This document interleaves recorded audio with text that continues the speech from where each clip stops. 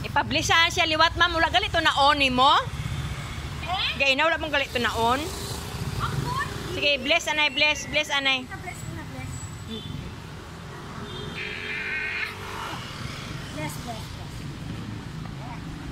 Ma, eh, ato, ato na ikuan ma'am be. Yes.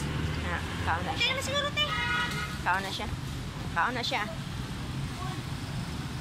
So, the Suki RL, si Baby RL. So, naana siya diri division, of course. Ipangalan na mo siyang RL, kay Suki na po siya ni Ate Pearly diri, of course, sa RL Bodega. So, as you can see, boss okay siya. Because of Ate Pearly, pinapakaon man ni Ate Pearly every day. So, lalaki siya. Tapos, Tingnan niyo naman ang katawan. Diba? Alagang-alaga. Wala So, lang ligo. Okay na, pag ma-okay na ang shelter ni Ma'am Tata, manangit ni sa iya na amo ni Pao si RL. you know, Safety na siya nga to. Butan kayo ni siya ma'am. Iring, ang gikaon, ano lang, ang dog food wali. Kauno niya na, balik-balikan niya na. Dako siya, tino. Dako siya na idok, eh. Kung kumpleto lang gini siya alaga, dako na siya. Murag si Uma ba?